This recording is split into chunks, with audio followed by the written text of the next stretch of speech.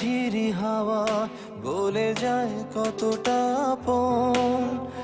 এই আছে না জীবন, জানে না সাঁতার।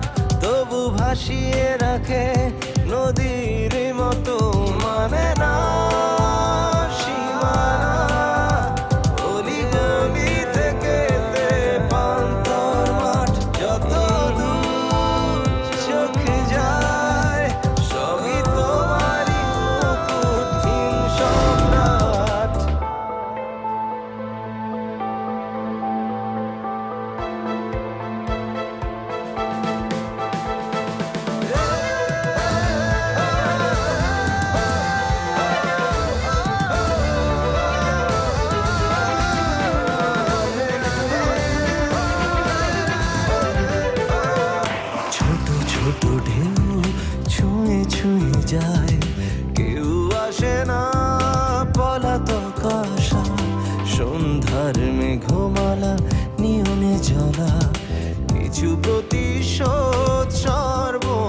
সর্বনাশা অনামিশা ভেঙে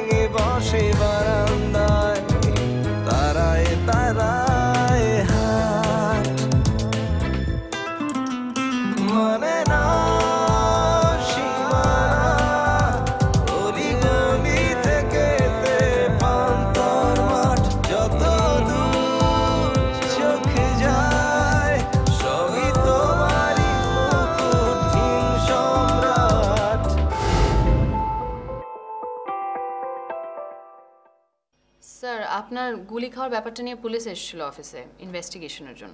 স্যার আমি সাসপেক্ট হিসেবে রাহুলের নামটা বলেছি। রাহুল?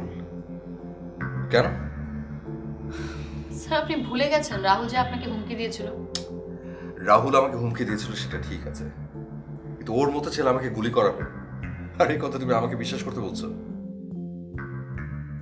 স্যার রাহুলকে এত ছোট করে দেখার কিছু নেই। এখন যদি আপনি একবার বলে দেন তাহলেই পুলিশ তাকে অ্যারেস্ট করবে আর ইন্টারোগেশন করলেই পুরো রহস্যটা বের হয়ে যাবে। আগে আমি একটু সুস্থ হয়নি তারপর দেখা যাবে। কিন্তু স্যার ততদিনে তো রাহুল গা ঢাকা দিয়ে দিবে। শেফা রাহুল ও যদি সত্যি সত্যি কাজ করে থাকে মাটির দশ হাত নিচেও যদি চলে যায় না আমি ওখান থেকে ওকে টেনে তুলে নিয়ে আসব। তোমাকে আপাতত যে কাজ করতে বললাম সেটা করো যাও। স্যার তার ব্যবস্থা করার চেয়ে না রাহুলের ব্যবস্থা করাটা আরও বেশি ইম্পর্টেন্ট অ্যাটলিস্ট আপনার সেফটির জন্য। কখন কোনটা আগে করা দরকার সেটা আমি তোমার থেকে ভালো বুঝি রাইট না সেটা ঠিক আছে স্যার কিন্তু আমি আসলে আপনাকে বলতে চাইছিলাম যে আবার যদি আপনাকে অ্যাটাক করে তাহলে ডোন্ট ওয়ারি তোমাকে যেটা বললাম তুমি সেটা করো যাও।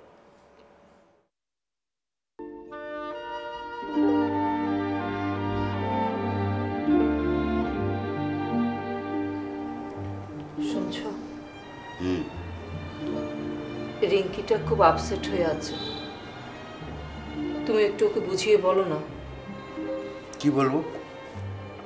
সবার সামনে যাতে আমাকে আরও ভালোভাবে অপমান করে? তোমাকে আবার কার সামনে অপমান করল? সম্রাট সম্রাটের সামনে গিয়ে আমার নামে যা তা বলে এসেছি হসপিটালে গিয়ে। চিন্তা করে দেখো তোমার মেয়ের সেন্স কোথায় নেমেছে? আরে সম্রাট তো দুদিন পর আমাদের জামাই হবে। ওর কথাই সম্রাট কিছুই মনে করবে না। কিন্তু আমি তো শুনলাম সম্রাটই নাকি আজ ওর সঙ্গে খুব রুড বিহেভ করেছে। ঠিকই করেছে। এটা অনেক আগে থেকেই করা উচিত ছিল। তোমার মেয়ে আমার সম্মান না বুঝলেও সম্রাট আমার সম্মান ঠিকই বোঝে। কোত্থেকে যে মেয়েটা আমার কপালে জুটলো? এভাবে বলো না গো। মেয়েটা শুনলে মনে কষ্ট পাবে। এমনিতেই সম্রাটের ব্যবহারেও আপসেট হয়ে আছে তো? কি করবে আপসেট হয়ে? চলে যাবে? যেতে দাও। এরকমের মেয়ে থাকার চেয়ে না থাকা ভালো।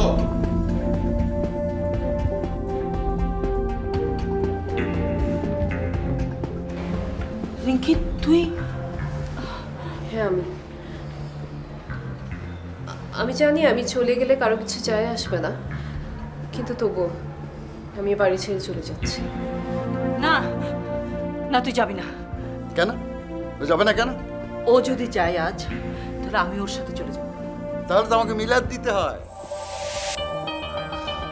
দেখেছ মা? দেখেছ? এরকম একটা মানুষের সাথে তুমি এতদিন ঘর করেছ। সব সব পুরুষই একই রকম।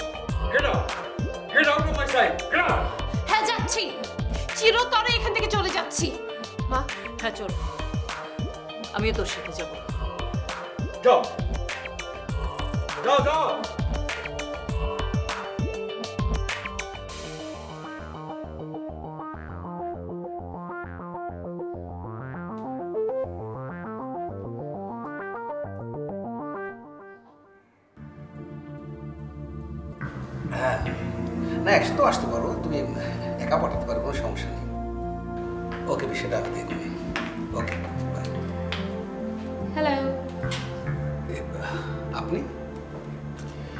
অনেক কষ্ট করে আপনাকে খুঁজে পেলাম। আপনার অফিস থেকে জানতে পারলাম আপনি রেস্টুরেন্টে আছেন তাই চলে আসলাম। কি ব্যাপার বলুন। আপনার জন্য তো একটা ব্রেকিং নিউজ আছে। নিউজ কি? আপনাকে বাধ্যতামূলক তিন মাসের জন্য বেড রেস্টে পাঠানো হচ্ছে। মানে? মানে তো ভাই আমি বলব না বলবে আমার লোকেরা। দেখুন আপনি নিশ্চয়ই মারধর দেওয়ার কথা বলতেছেন না। হ্যাঁ আমি তো তাই বলছি। আপনাকে তো সাধারণ ধোলাই দিলে হবে না। আপনাকে দিতে হবে রাম ধোলাই। স্পেশাল লোক দিয়ে স্পেশাল ধোলাই। বুঝতে পেরেছেন? দেখেন আমি কিন্তু থানায় জিডি করব। আপনি কিন্তু আমার টর্চারের ভয় দেখাচ্ছেন। যা করার দ্রুত করে ফেলুন কারণ তিন মাস তো একেবারে কম সময় না। প্লিজ আমার যদি অন্যায় হয়ে থাকে আপনি আমাকে ক্ষমা করে দিন। আমি এই- এই আমি আপনার কাছে মাপ চেয়ে নিচ্ছি। দেখুন আপনাকে মালয়েশিয়া প্রজেক্টের টিম থেকে রিঙ্কিকে অফ করার জন্য কম্পেনসেশন হিসেবে একটা ভালো টাকাও দেওয়া হয়েছিল আর আপনাকে অপরচুনিটিও দেওয়া হয়েছিল রাইট কিন্তু আপনি কোনোটাই কাজে লাগাতে পারেননি। উল্টো রিঙ্কিকে উল্টো পুল্টো কী সব জানি বলেছেন? বিশ্বাস করুন আমি রিঙ্কিকে উল্টোপাল্টা কিছুই বলিনি। তাহলে ও এসব কি করে জানলো? ইয়ে হয়েছে কি সেদিন তো ওর সাথে আমার এখানেই দেখা হয়েছিল। ফিরিস্তির দরকার নেই আমি সব জানি।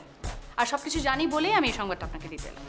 So get ready for the next three months of bed rest. Please please আমাকে একটা সুযোগ দিন আমি আপনাকে কথা দিচ্ছি। রিঙ্কির সাথে কথা বলে আমি সব কিছু সেটেল করে ফেলব। কিন্তু আমার তো একটা সমস্যা আছে। আমি তো মানুষকে সেকেন্ড চান্স দিই না। বাই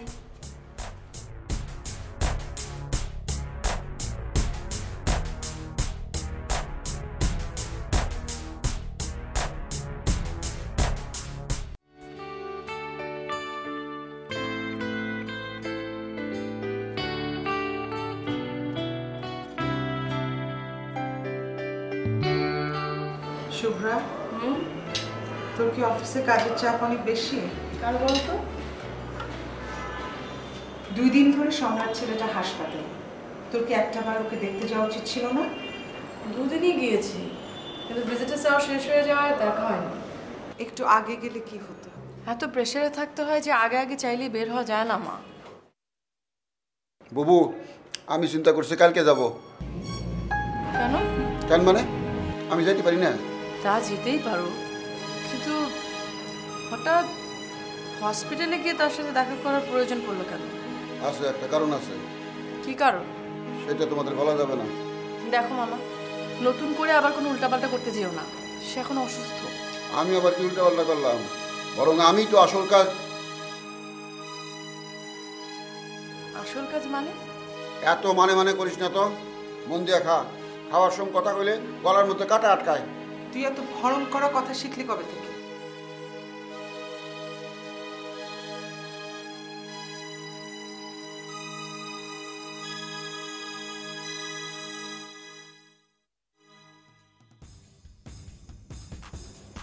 আরে বিলু মামা, আপনি এসছেন? নিজে থেকে এসছেন নাকি কারও দুধ হয়ে? নিজের থেকে আপনার লগে দেখা করতে আইছি। কিন্তু আপনার লগে দেখা করতে আইতে যতগুলা গেট আমার পার হইতে হয়েছে মনে হইতেছিল না যে আমি কেবিনে কোনো রুগী দেখতে এসেছি।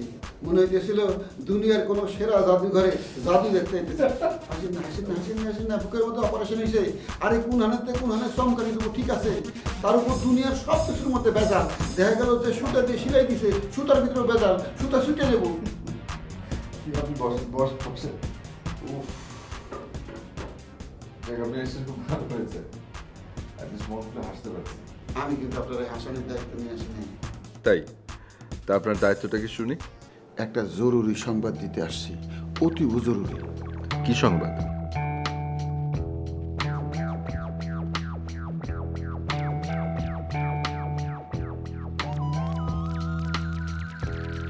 আচ্ছা, সিপাই সাপাই সিসি ক্যামেরা নাই তো? মামা এটা একটা কেবিন। এখানে সিসি ক্যামেরা আসবে কোথেকে রেকর্ডার না নেই। আপনি নির্ভয়ে বলতে পারেন। শুনুন ভাই আমি সাধারণত মানুষের কোনো উপকার করি না কিন্তু আপনার আমি খুব পছন্দ করি তাই চিন্তা করে দেখলাম এই উপকারটা আপনার করা দরকার। আমার উপকার করবেন আপনি। উপকারই তো আপনারা যে গুলি করছে তারা আমি চিনি। আমি যদি তার নামটা আপনারে কয়ে দিই এটা আপনার উপকার না? আমাকে যে গুলি করেছে আপনি তাকে চেনেন? কে? কইতেছি কইতেছি এত অস্থির হইন না অস্থির হলে বুকের মধ্যে চাপ বাড়ে এখন আপনার বুকে চাপ বাড়ানো ঠিক হইব না। আচ্ছা ঠিক আছে। আপনি বাসে ধীরেই পড়েন। তার আগে বলেন কিছু খাবেন? চা কফি? চা খাইতে যাই তো এই খবর আমি শুনছি। ওনার পর থেকে আমার ঘুম হারাম। মামা একটু খুলে বলেন তো কি হয়েছে? পরশু সকালবেলা মহল্লার চায়ের দোকানে চা খাইতে গেছি। ওইখানে উপস্থিত ছিল সর্দারের তিন চেলা। তারা বলা বলি কথা ছিল কেটে গুলি করছে এক কথা হই নাই তো আমার পেটের চা চান্দিত গিয়ে উঠছে। তোমার? গলায় করো নাকি? গলায় আবাজে কেমন আমার ছোটকাল থেকেই গলায় চা বাজে। আমার মায়ে কইতো ওই বিলু থাক থাক এত হিস্টোরি হননের কাম নাই। চা খাইতেছো চা খাই বিদায় যাও আসি মহা মুসিবতে কি এর মুসিবত ভাই? আরে দূর তোমার জানার কাম কি? চা খাইতেছো চা খাই বিদায় হও, যাও। আরে মামার কিন্তু পিছলা গেলে একটু বেশি আছে।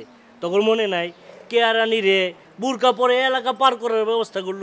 ভাই কাউরে কি পার করে দিতে হইব? দিদি তোমার কাছে কি গা টাকা ধর্ম তোর কোনো জায়গা আছে? মেলা আছে কয়টা লাগবো? কেডা গা টাকা দিব? কেডাই আবার? আমাকে সর্দারে। সর্দারে? সর্দারে আবার কারে মেরে কেস খাইলো? দূর তোমার এত কিছু শোনার দরকার নেই তো। আছে নাকি এটা কথা থাকলে কও? ঠিকই কইছেন। এত কিছু শুই না এত কিছু যাই না কি লাভ? আগের জামানায় মানুষ যত জানতো তত বেশি পণ্ডিত হইতো। আর এখনকার জামানায় মানুষ যত জানব তত বেশি বিপদে পড়ব তাই না? একদম ঠিক কইছো। তাহলে জানাইবা হ্যাঁ? আপনি শিওর যে ওরা আমার নাম বলছিল? হান্ড্রেড পার্সেন্ট শিওর মিশা হইলে আমি আমার শরীরের মাংস সিরা কুত্তা দেখাম আমি নিজ কানে শুনছি আপনারে গুলি করছেন সর্দার। আচ্ছা ঠিক আছে আমি পুলিশকে জানাচ্ছি। ভাই ভাই ভাই আমি কোনো বিয়ে করি নাই। আমার এই ঘটনা সামনে নিন না। আমি কিছু না খাই। আচ্ছা বুঝতে পেরেছি। আপনি যে আমাকে ইনফরমেশন দিয়েছেন এটা কেউ জানুক আপনি জানেন আপনার কি ধারণা যে ওরা জানলে আপনাকে মেরে ফেলবে? খালি মেরে ফেলব। আমার এত ছোট ছোট টুকরা করব কোনটা আমার না কোনটা আমার কান টের পাওয়া যেত না। এত ভয় পাবেন। এমনও তো হতে পারে যে যাদের ভয় আপনি পাচ্ছেন তারা আপনার পায়ের কাছে বসে থাকবে। আপনি হবেন তাদের লিডার কি কন ভাই? হুনছি আপনার গুলি লাগছে বুকে। অহন দেখতেছি মাথার অবস্থাও নাজুক। আচ্ছা ঠিক আছে। আপনি ভয় পাবেন না মামা আমি সব কিছু এমনভাবেই করব যাতে আপনার কোনো ক্ষতি না হয়।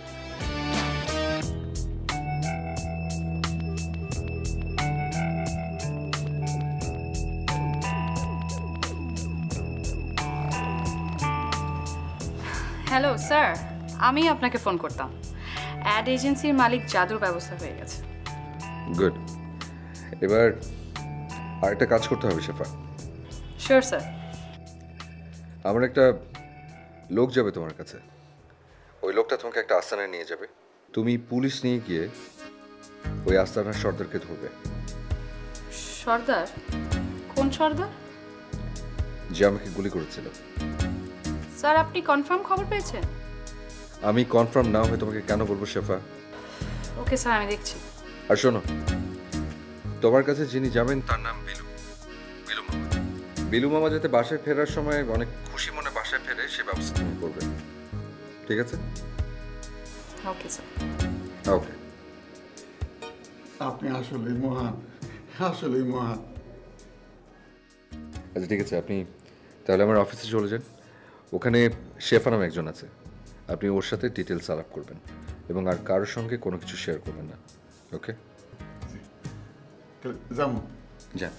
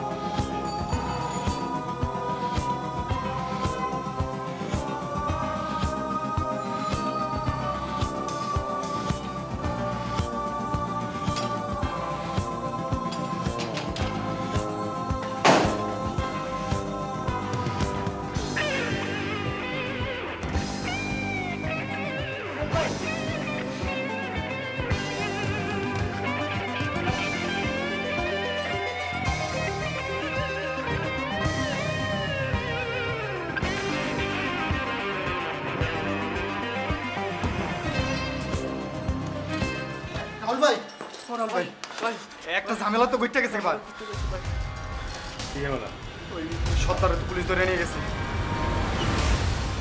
কি? ও ভাই ও না আপনি আমাকে বাঁচান ভাই। হাজরত আমাকে কে বাঁচাবে সেটাই বুঝতে পারছি না। তোমাদেরকে বাঁচাবো কি আমি? ভাই তাহলে আমরা এখন কি করব ভাই? ভাইয়ের অবর্তমানে তো আমগো কোনো ছায়া নাই। আপনি একমাত্র ছায়া। আমগো বাঁচান ভাই। আমি কারও ছায়াটা না। যার যার রাস্তা নিজেরা দেখো। আমি আগেই বলেছিলাম তোমাদের সর্দারকে আমি বলেছিলাম যে পুলিশি রেট হবে সময় থাকতে গা ঢাকা দাও। সে গা ঢাকা দেয়নি কেন? ভাই আজকালের মধ্যে গা টাকা দেওয়ার কথা ছিল কিন্তু তার আগেই তো কট খেয়ে গেল ভাই। এখন তো আমাকেই গা ঢাকা দিতে হবে। তোমাদের সর্দারকে তো বিশ্বাস নেই। পুলিশি মার হজম করতে না পেরে আমার নামটা বলে দেবে ধুম করে। ভাই আপনার নামের সাথে সাথে তো আমগো নামটাও বলে দিব। এখন ভাই আপনি যেই জায়গায় যান আমগুলো ভাই সাথে করে লই যান। ফালতু ঝামেলা করবে না। যার যার রাস্তা তোমরা নিজেরা দেখো। আমার পেছনে আসা, তোমরা।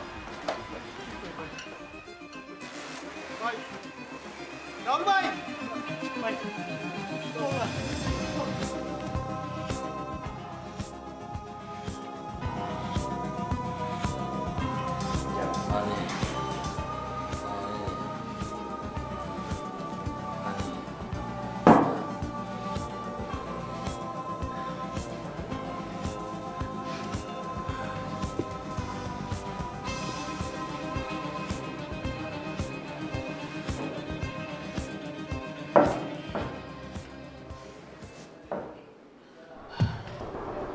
তোর জীবন তো এমনিও শেষ অমনিও শেষ।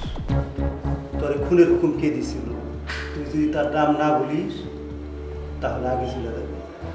আর যদি বলিস তাহলে বাড়ি পরে যাবি। এখন তুই বল তোর খুনের হুকুমটা কে দিছিল? স্যার স্যার বাঁচতে চাই স্যার। আমার বাঁচান স্যার। বাঁচতে চাস? হ্যাঁ? তুই বাঁচতে চাস? বাঁচতে চাস? তাহলে বল। তাহলে বল তোকে খুনির রকম কে দিছিল বল।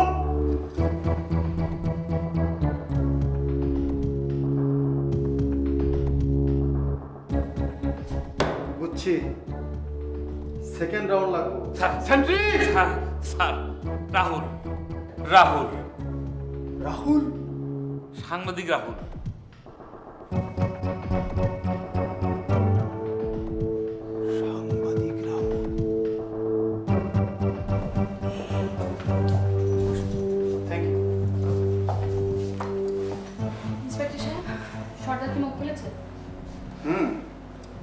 আপনার ধারণাই সত্যি। সম্রাট সাহেবের বন্ধু রাহুলই তাকে খুন করার হুকুম দিয়েছিল। তো আপনারা কি এখন রাহুলকে ধরতে পেরেছেন? ফোর্স পাঠিয়েছি কিন্তু আমার ধারণা সে ইতিমধ্যে গা ঢাকা দিয়েছে। আচ্ছা হঠাৎ সম্রাট সাহেবের সঙ্গে তার শত্রুতার কারণটা কি? ওনারা তো দুজন ঘনিষ্ঠ বন্ধু ছিলেন। কি এমন ঘটনা ঘটলো যে এত দূর করালো দেখুন আমি তো আপনাকে একবার বলেছি আমি এইসব বিষয়ে কিছু জানি না। আপনি আসলেই কিছু জানেন না না? আমরা জেনেছি কারণটা মেয়ে ঘটিত একজন মেয়েকে নিয়ে নাকি দু বন্ধুর মধ্যে দ্বন্দ্ব বাঁধে। কিন্তু জানতে পারেনি মেয়েটিকে আচ্ছা আপনার কি কোনো ধারণা আছে মেয়েটিকে sorry no idea miss Shefa আমার কেন যেন মনে হচ্ছে আপনি কিছু লুকোচ্ছেন? স্ট্রেঞ্জ যেখানে আমি আপনাদেরকে পসিবল সাসপেক্টের নাম বলে দিলাম সেখানে আপনি আমাকে সন্দেহ করছেন। না না আমি আপনাকে সন্দেহ করছি না। বাট আমার মনে হচ্ছে আপনি কোনো কিছু গোপন করছেন আমি সেটাই বলছি। সাধারণত সন্দেহভাজন একাধিক নাম আসে বাট আপনি অনলি একজনের নাম বলেছেন দেখা গেল সে আসল ক্রিমিনাল আমার অভিজ্ঞতা বলে সাধারণত কনফার্ম না হলে এমনটি হওয়ার কথা নয়। যেহেতু আপনি রাহুলের বিষয়টা কনফার্ম ছিলেন তাই আমার মনে হলো কনফ্লিক্টের কারণটা আপনি জানেন। দেখুন আমি তো এর চেয়ে বেশি কিছুই জানি না। গোপন করার তো প্রশ্নই ওঠে না। তাছাড়া দুই বন্ধুর মধ্যে কেন কনফ্লিক্ট বা কোন মেয়েকে নিয়ে কনফ্লিক্ট এটা জানার চেয়ে আমার মনে হয় বেটার হচ্ছে যে রাহুলকে অ্যারেস্ট করা। আর তা না হলে তো রাহুল যে কোনো টাইম আবার স্যারের উপর সেম অ্যাটেম্পটা নিতে পারে।